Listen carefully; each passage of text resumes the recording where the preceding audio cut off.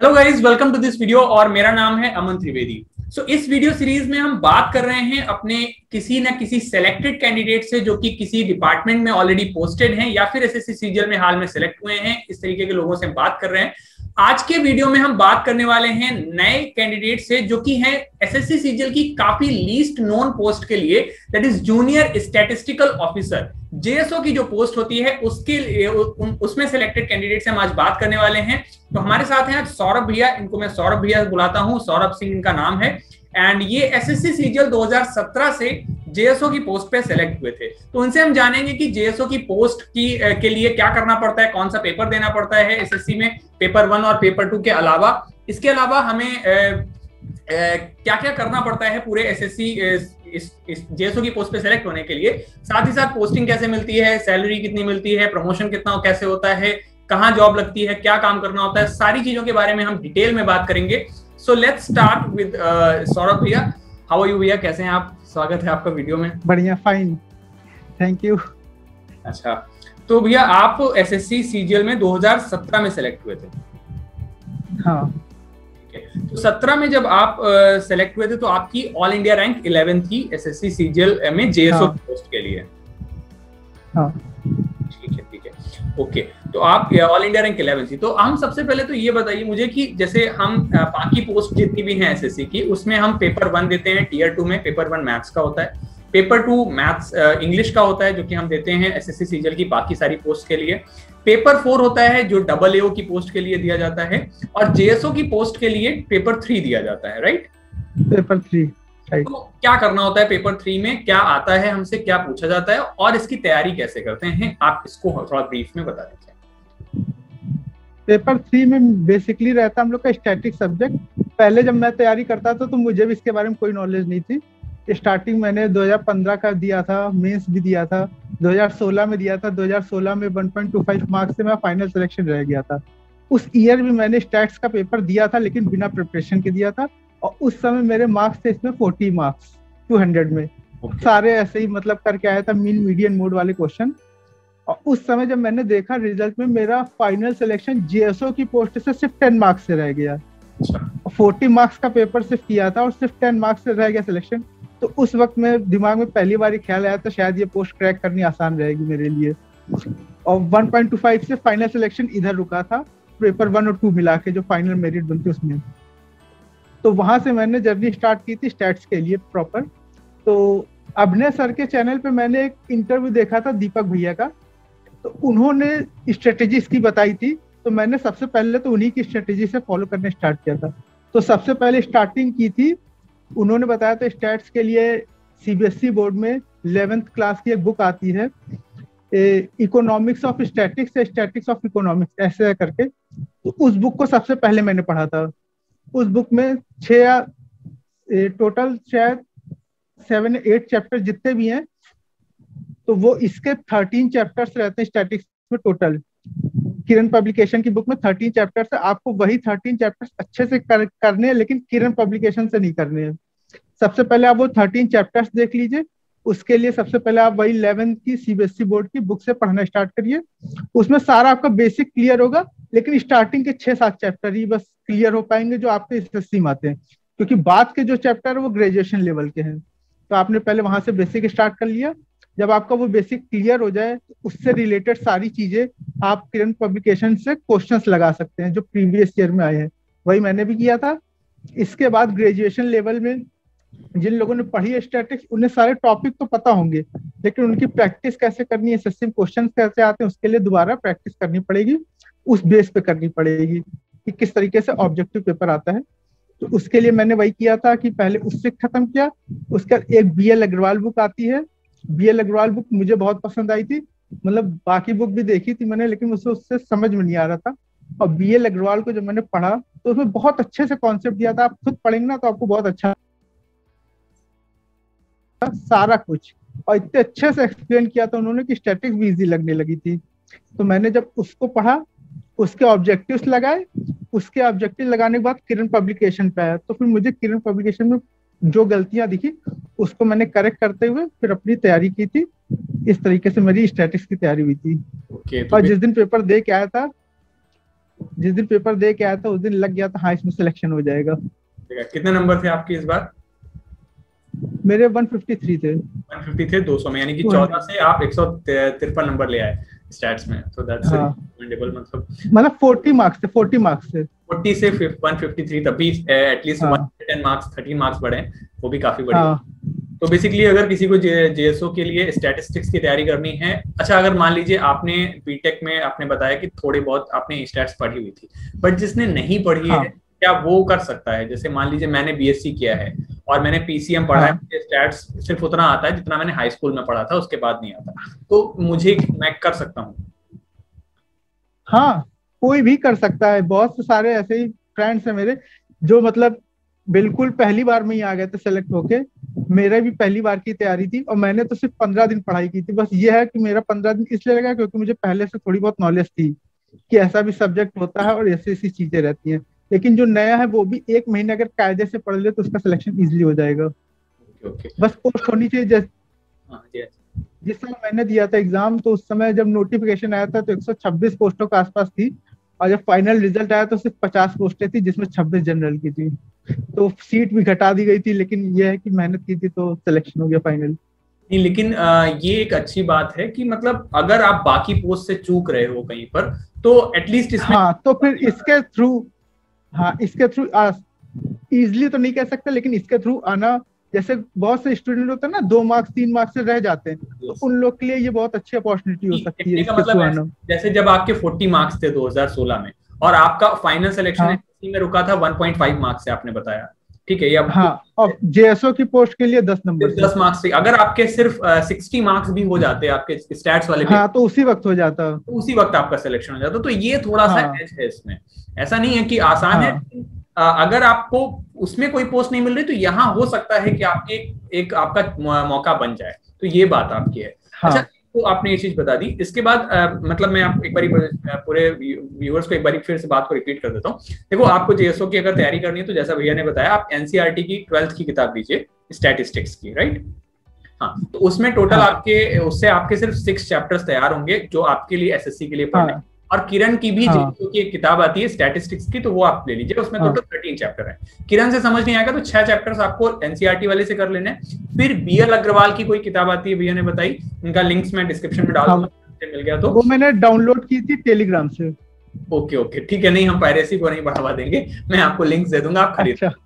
ठीक है? तो आप उसको बी एल अग्रवाल की किताब को खरीद लीजिएगा और उससे आप बाकी के जो सेवन चैप्टर्स हैं वो आप बी एल अग्रवाल से पढ़ सकते हैं। इन दोनों का कॉम्बिनेशन बना के आप किरण की किताब लगा लेंगे तो आपका आपको समझ आ जाएगा कि क्या करना है। और भैया ने बताया क्योंकि उन्होंने थोड़ी बहुत बीटेक में पढ़ी हुई थी, इसलिए उन्होंने इतना थोड़ा सा और बेहतर कर लिया। अगर आप भी मेहनत करेंगे तो 200 में 153 अगर आप ले आते हो मतलब 150 नंबर ले आते हो, जितना भी लेंगे, अगर आपका बाकियों में स्कोर अच्छा है तो वो यहाँ से कंपनसेट हो जाएगा। उतना थोड़ा अच्छा नहीं भी है तो कंपनसेट हो जाएगा यहाँ से। और अगर पोस्ट हैं तो आपको इसमें जॉब मिल सकती है और खराब नौकरी नहीं है, क्योंकि बयालीस ग्रेड पे की है और एसएससी से जो सबसे लोएस्ट नौकरी मिलती है वो 2800 या 2400 ग्रेड पे है शायद। अट्ठाईस ग्रेड पे तो ऑडिटर की मिलती है और 2400 ग्रेड पे टीए की चौबीस तो चौबीस चौबीस ग्रेड पे से आपको यहाँ बयालीस ग्रेड पे मिल रहा है तो ऑब्वियसली यू कैन कैलकुलेट की कितनी बेहतर है नौकरी। ठीक?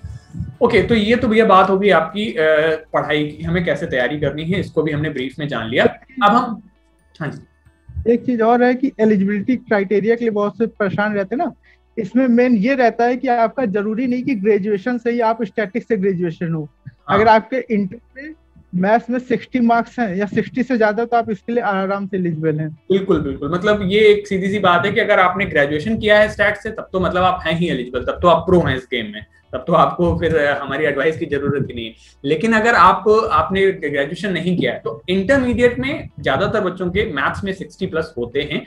अगर नहीं है अगर बायो से इंटर है तो आप एलिजिबल नहीं है।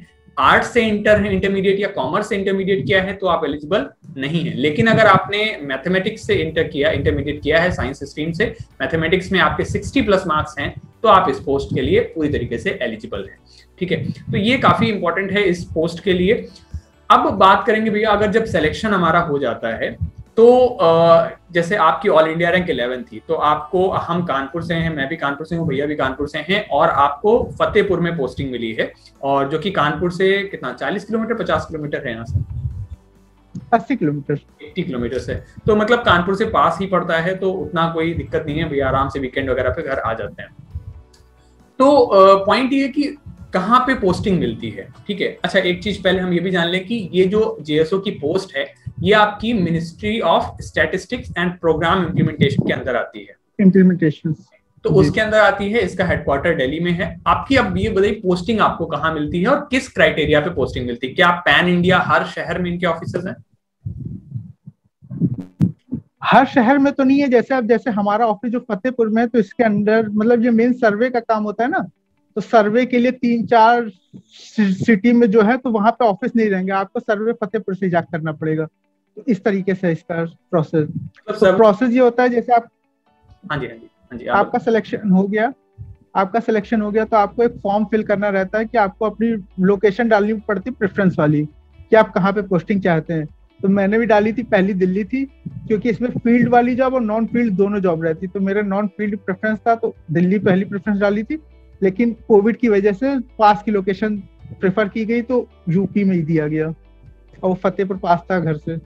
अच्छा अच्छा अच्छा अच्छा अच्छा। ओके बट आपकी रैंक तो अच्छी थी वही मैं सोचू फिर तो आपको मिल जानी चाहिए थी। ओके तो हाँ, दो प्रेफरेंस दिया था लेकिन दो तरीके की जॉब प्रोफ़ाइल हैं। एक है फ़ील्ड वर्क जिसमें आपको फ़ील्ड में जाके सर्वेस कंडक्ट करने पड़ते हैं। स्टैटिस्टिक्स की पोस्ट है तो ऑब्वियसली सर्वे कंडक्ट करने पड़ेंगे। और दूसरी है ऑफ़िस वर्क जिसमें आपको हेडक्वार्टर में ऑफ़िस में बैठ के काम करना होता है। ठीक है आप दोनों ही तरीके की ऑप्ट कर सकते हैं। डिपेंडिंग ऑन योर रैंक आपको पोस्ट मिल जाएगी। ठीक है जॉब लोकेशन कैसे डिसाइड होता है? वो भी रैंक के आधार पर ही होता है। जॉब लोकेशन जैसे हम लोग का जो हम लोगों ने प्रेफरेंस डाली थी तो उसके हिसाब से डायरेक्ट उन्होंने जो दी थी वो फतेहपुर ही दी थी। अच्छा अच्छा अच्छा। तो ये शायद रैंक वाइज मेरिट वाइज ही करते होंगे। ओके ओके ओके ठीक है। मतलब बेसिकली कोविड की वजह से आपको घर के पास उन्होंने तुरंत दे दिया कि घर के पास हाँ. मतलब सबको वैसे ही दिया था जितनी भी लोकेशन हुई थी सबको उनके घर के पास वाली दे दी गई थी। ओके तो बेसिकली अच्छा ऑफिसेस क्या इनके लगभग ज़्यादातर शहरों में हैं? ऑफ़िस ज़्यादा शहरों में लेकिन फिर भी काफ़ी कवर है। मतलब ऑल इंडिया है तो सब कवर है। क्योंकि जो सर्वे का एरिया होता है सौ से डेढ़ सौ किलोमीटर रखना रहता है इनको। तो जो हेड ऑफ़िस होगा, हम लोग का मुख्यालय, वहाँ से सौ डेढ़ सौ किलोमीटर के आसपास के सारे सर्वे कंडक्ट हो जाएँगे। जैसे कानपुर में भी इसका ऑफ़िस है। कानपुर में है, लखनऊ में है, इलाहाबाद में है।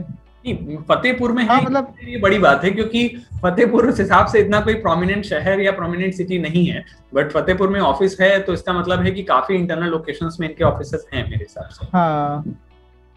ठीक है तो ये तो हो गई हमारी ज्वाइनिंग की बात कि आपको इस हिसाब से लोकेशन मिल जाती है। अच्छा क्या मतलब इसमें भी जो आपके बाकी के कैंडिडेट्स आप ऑब्वियसली बहुत सारे लोगों से कनेक्टेड रहे होंगे ऐसे बच्चे जिनकी एंड में रैंक थी तो क्या उनको मतलब साउथ लोकेशन वगैरह मिली है? क्योंकि बाकी पोस्ट में ये काफ़ी रोना रहता है कि ज़्यादातर में जैसे एक्साइज वगैरह में साउथ पोस्टिंग मिल जाती है, फिर बच्चे होम पोस्टिंग के लिए फाइट करते रहते हैं। तो क्या इसमें भी ऐसा है, क्या मतलब आपको साउथ पोस्टिंग ज़्यादा मिलती है, इसमें कहाँ मिलती है पोस्टिंग ज़्यादा?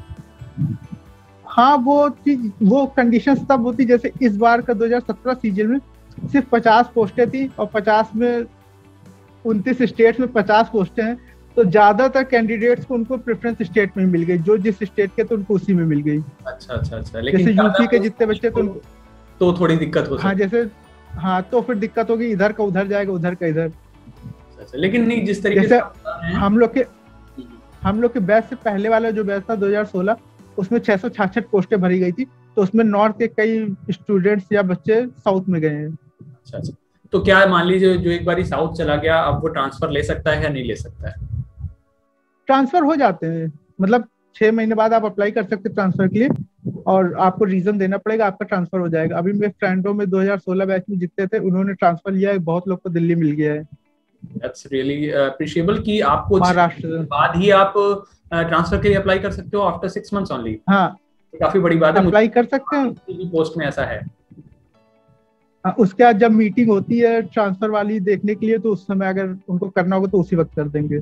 तो ये काफ़ी अच्छी बात है मतलब ट्रांसफ़र फ्रिक्वेंटली हो जाता है अच्छा मान लीजिए अगर आप ट्रांसफ़र हाँ। से आप होम पोस्टिंग है और अगर आप ट्रांसफ़र नहीं लेना चाहते हैं वैसे तो शायद आप लेना चाहते होंगे क्योंकि फ़ील्ड वर्क से आप हाँ। जॉब पे जाना चाहते हैं लेकिन अगर मान लीजिए हाँ। नहीं लेना चाहता तो उसको ट्रांसफ़र क्या जब लेना पड़ता है या वो एक लोकेशन पे अपना टाइम कितना गुजार सकता है नहीं वो कोई भी गुजार सकता है जैसे हमारे ऑफ़िस में या कहीं पे भी जिनको प्रमोशन होता है उनको दूसरी जगह भेजा जाता है तो अपना प्रमोशन छोड़ दे तो उसी जगह पे रहते हैं जेएसओ पोस्ट पे। अच्छा अच्छा अगर प्रमोशन नहीं लेंगे मतलब तो रह सकते हैं। हाँ मतलब आप वहीं पे रहिए। ठीक है ठीक। जैसे प्रमोशन होता है तो मोस्ट ऑफ़ द केस में बाहर ही भेजे जाते हैं कहीं और जगह। Okay okay. अच्छा ये बयालीस सौ ग्रेड पे की पोस्ट है तो इसमें आपकी बेसिक पे कितनी होती है? बेसिक पे पैंतीस चार सौ। पैंतीस हज़ार चार सौ रुपए। बेसिक पे है। जिसमें हाँ। आपका। सत्रह परसेंट अठारह परसेंट डी और अगर आप X city Y city Z city पे हैं तो एक्स सिटी में twenty four percent H R है। वाई सिटी में फोर्टीन परसेंट एच आर लग जाएगा जिसके हिसाब से एक्स सिटी में मेरे हिसाब से करीब करीब पचपन हज़ार सैलरी बन जाएगी। हाँ। एक्स सिटी मतलब जैसे जो बिग लोकेशंस होती हैं जैसे दिल्ली है मुंबई हाँ। मुंबई है चेन्नई है लखनऊ वही में लखनऊ वाई में हाँ। तो ये जो हाँ, कानपुर भी भाई चार बेसिकली चार देश की चार जो भी हाँ। यही एक सिटी में है और इनमें महानगर। हाँ बाकी कानपुर है वाई सिटी में लखनऊ भी वाई सिटी में है और फतेहपुर जहाँ पोस्टेड है वहाँ जेड जेड सिटी है। वो जेड सिटी है। उसके हिसाब से आप लोग अपनी थोड़ी मैथमेटिक्स लगा के सैलरी कैलकुलेट कर लीजिएगा। कमेंट्स में बताइएगा कितनी बन रही है X city Y city Z city में। ठीक है थोड़े बहुत और भी अलाउंसेस होते हैं बट मैंने आपको जो बताया लमसम आइडिया दिया आप ये समझ लीजिए एक्स सिटी में पचपन हज़ार वाई सिटी में लग, लगभग सैंतालीस अड़तालीस हज़ार बनेगी और जेड सिटी में करीब तैतालीस चवालीस हज़ार के आसपास बन जाएगी salary right in hand salary है। हाँ इन हैंड सैलरी है इन हैंड सैलरी मतलब इसमें आप ये मान लीजिए अगर इन हैंड सैलरी चवाले जा है तो तीन चार हज़ार रुपए। एनपीए कटता है जो हाँ। आप, आप समझ सकते हैं कि तो फिर उस हिसाब से मेरे हिसाब से एक्स सिटी में आपकी साठ हज़ार तक बन सकती है। ग्रॉस राइट मैं ऑडिबल भैया? यस ऑलराइट खैर ये हमने सैलरी की बात कर ली। तो अच्छा आपकी जब पोस्टिंग होगी अब हम बात कर लेते हैं जॉब में बेसिकली करना क्या होता है। हम सर्वे की बात कर रहे थे थोड़ी देर पहले। तो करना क्या होता है इसमें? क्या नौकरी में क्या काम है? क्योंकि इनकम टैक्स में जानते हैं भाई रेट करना है इनकम टैक्स कैलकुलेट करना है। एक्साइज में एक्साइज जीएसटी भरना है देखना है आपको। या फिर अगर आप ऑन फ़ील्ड है तो आपको उसमें टैक्स चोरी उसमें भी पकड़ना है उसमें भी रेट करना है। इन सारी पोस्ट के बारे में हमें मोटा मोटी जानकारी है। सीबीआई में आपको केसेस देखते होंगे। जेएसओ के बारे में हमें एक्चुअली में नहीं पता होता कि काम क्या करना होता है इसमें। तो आपका क्या काम है? आप ऑफ़ ऑन मेरे हिसाब से जो डेस्क जॉब होगा वो तो सेम ही होता होगा ज़्यादातर जगह। बट जो फ़ील्ड वर्क है उसमें हाँ। क्या जैसे हम लोग की फ़ील्ड वर्क में मेन सर्वे कंडक्ट कराना ही मिनिस्ट्री का मेन वर्क है सर्वे कंडक्ट कराना। सर्वे भी बहुत तरीके के होते हैं। हाँ भाई यही सवाल है किस तरीके के सर्वे कंडक्ट कराते हैं? जैसे सर्वे अर्बन फ्रेम सर्वे चल रहा है और जो कॉस्ट प्राइस वाले इंडेक्स वाले सर्वे होते हैं CPI CPI R CPI rural और अर्बन ये सारे सर्वे होते हैं। इसमें हम लोग को प्राइस कलेक्शन भी किया जाता है हर चीज़ के प्राइस कलेक्ट किए जाते हैं। और अर्बन फ्रेम सर्वे होता है और सोशियो इकोनॉमिक सर्वे बहुत कॉमन सर्वे है जो हर साल कराया जाता है। सोशियो इकोनॉमिक सर्वे में मेन हम लोग का जैसे रूरल एरियाज़ में जाके सारा सर्वे करना रहता है। Okay okay okay.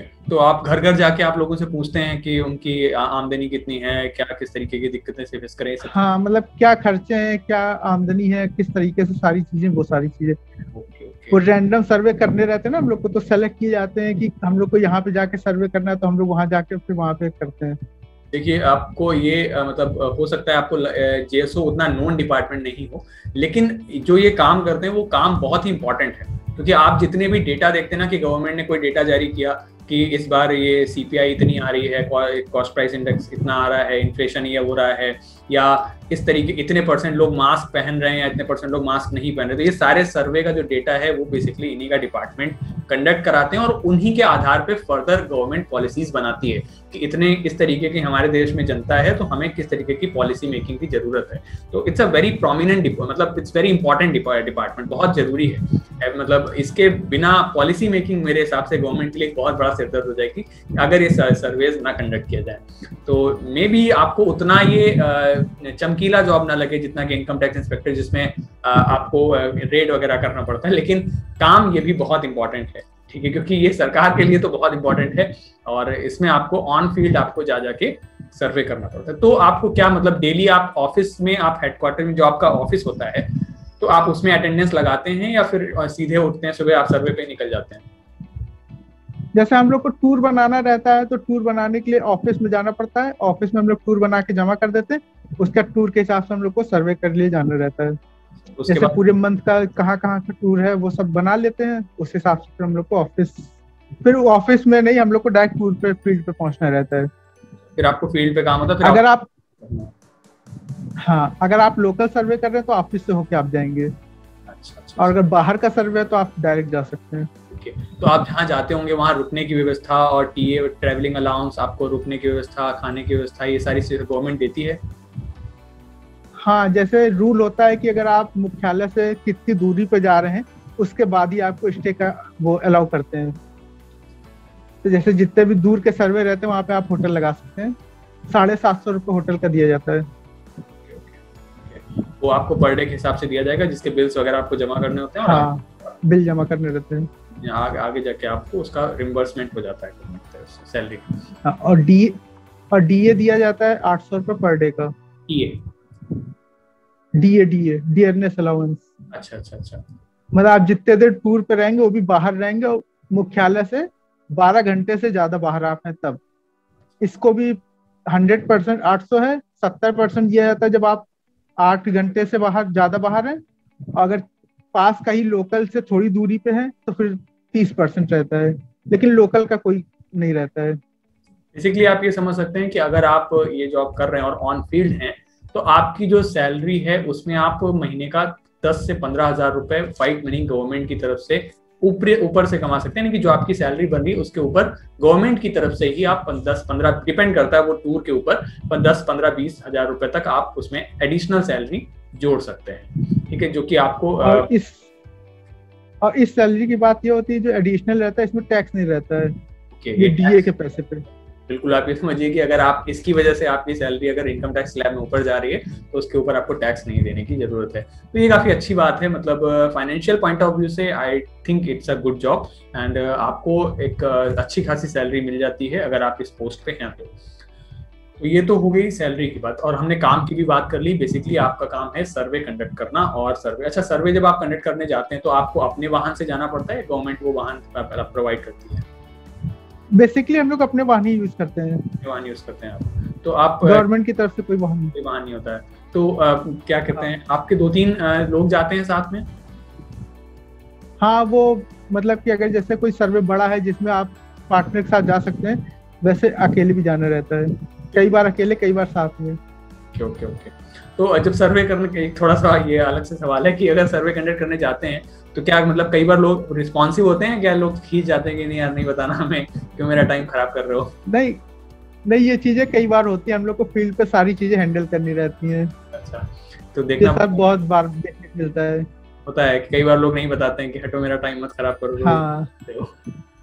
तो उन लोग को हैंडल करना पड़ता है। अपनी बातों से किस तरीके से आप उनको अपनी बताइए कि इस सर्वे क्यों कंडक्ट कराया जा रहा है। इंडिया में लोग काफ़ी खाली हैं बात बात कर ही लेते हैं जनरली हाँ। ऐसे पर्सन को ढूंढना पड़ता है फ़ील्ड पे कि जिससे जानकारी मिल जाएगी। ठीक है अच्छा। ओके और तो ये आपका काम जैसे ये हो गया। अगर मान लीजिए आप डेस्क पे होंगे तो शायद आपका काम ये होता होगा जो मेरी समझ कह रही है कि आप जो सर्वे ला रहे हैं उस पे जो डेटा पे काम होता होगा वो हाँ हाँ कंपाइलेशन वगैरह बाकी आगे की जो भी प्रोसेस होगा। तो ऐसा ज़रूरी नहीं है कि आपको फ़ील्ड पे ही रहना पड़ेगा। आप ऑन डेस्क जॉब भी चूज़ कर सकते हैं क्योंकि मेरे हिसाब से आपने हाँ. हो जाता है तो हो ही जाता होगा थोड़े समय के बाद ये चेंज होता रहता होगा मेरे हिसाब से। हाँ। ओके ठीक है। तो अच्छा प्रमोशन का क्या क्या रहता है और कितने टाइम के बाद प्रमोशन होता है? इसमें प्रमोशन जैसे अभी जीएसओ की पोस्ट से प्रमोशन होगा एसएसओ की पोस्ट होगा। सीनियर स्टैटिस्टिकल ऑफिसर उनका भी मेन काम सर्वे कंडक्ट करना रहता है। उनके सर्वे हम लोग के सर्वे से अलग रहेंगे। अच्छा। मतलब वहाँ पे एग्रीकल्चर सर्वे इंडस्ट्रियल सर्वे वो सारे सर्वे आ जाते हैं। इंडस्ट्रीज़ वगैरह में जाके सर्वे करना, उनकी बैलेंस शीट वगैरह, वो सारी चीज़ें रहती हैं। और जेएसओ जो सर्वे करते हैं, उनका इंस्पेक्शन करना भी काम रहता है। तो अच्छा उसके बाद क्या और सात आठ साल सात आठ साल लगते हैं प्रमोशन होने में। और सीट अगर खाली है तो नहीं तो आपको वेट करना पड़ सकता है। कि हर हर सेंट्रल गवर्नमेंट में हर पोस्ट का यही है चाहे एक्साइज हो या कोई भी पोस्ट हो सब में यही है। अगर सीट खाली है और उसके बाद सात आठ साल लगते ही हैं। ओके इसके बाद एसएसओ के बाद किस पोस्ट पे होता है प्रमोशन एसएसओ के बाद एडी की पोस्ट रहती है। एडी असिस्टेंट डायरेक्टर हाँ एडी उसमें कितना ग्रेड हाँ। पे हो जाता है? उसमें चौवन सौ ग्रेड पे रहता है। चौवन सौ ग्रेड पे रहता है तो दैट्स मतलब ऑफिसर पोस्ट है फिर वो। हाँ ये आईएसएस जो यूपीएससी एग्ज़ाम कराता है ना इंडियन स्टैटिस्टिकल सर्विसेज़ तो उस उससे भी ज्वाइनिंग एडी की पोस्ट पे डायरेक्ट होती है। मतलब और उसके बाद प्रमोशन कहाँ पे होता है? एडी के बाद? ए, एडी के बाद मुझे नहीं पता। अच्छा बेसिकली अभी हाँ मतलब वहाँ तक पता कि जहाँ तक पहुँच सकते हैं अभी। यहाँ तक पहुँच सकते हैं ओके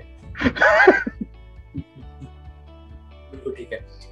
ओके okay, तो हमने अच्छा एक चीज़ ये है कि मान लीजिए आप तो हो आप कानपुर से थोड़ी ही दूर पे पोस्टेड हैं फतेहपुर में। मान लीजिए आप दिल्ली पोस्टेड होते तो क्या आपको रहने के लिए होम क्वार्टर्स वगैरह मिलते हैं गवर्नमेंट की तरफ़ से या एच से ही काम चलाना पड़ता है? होम क्वार्टर्स अवेलेबल तो रहते हैं। वो अवेलेबल अगर होंगे तो आपको मिल जाएँगे। मतलब हैं लेकिन अगर अवेलेबिलिटी हाँ. हो। तो आपको मिल जाएगी नहीं तो आपको हाँ. ना प्राइवेट लेना पड़ेगा। हाँ। ठीक है भैया तो आई थिंक हमने सारी बातें जॉब के बारे में कर ली कि कहाँ पे, किस पोस्ट के बारे में क्या करना रहता है। आपका काम के बारे में बात कर ली जॉब प्रोफ़ाइल के बारे में बात कर ली, हमने ट्रांसफ़र के बारे में बात कर ली पोस्टिंग के बारे में बात कर ली और प्रमोशन के बारे में भी बात कर ली, सारी बातें हमने कर दी। तो I hope this is enough for the for this कि आपको कैसे जेएसओ uh, की पोस्ट के लिए तैयारी कैसे करनी है? शुरुआत में मैंने आपको ये भी बता दिया कि आपको तैयारी कैसे करनी है और क्या आपको जब तैयारी करेंगे तो किस तरीके से सेलेक्ट हो जाएँगे क्या पोस्टिंग होगी कैसे ट्रांसफ़र होगा कैसे प्रमोशन होगा क्या काम होगा सारी बातें आपको बता दी हैं। तो आई थिंक आपको जेएसओ के बारे में सब कुछ पता लग गया होगा। अगर आपको ये वीडियो पसंद आया तो वीडियो को लाइक कीजिए चैनल को सब्सक्राइब कीजिए और वीडियो को थोड़ा शेयर कीजिए जिससे कि बाकी लोगों को भी जेएसओ के बारे में पता लगे। सो थैंक यू भैया for joining me and have a very great day thank you so much for joining और thank you so much for giving your time thank you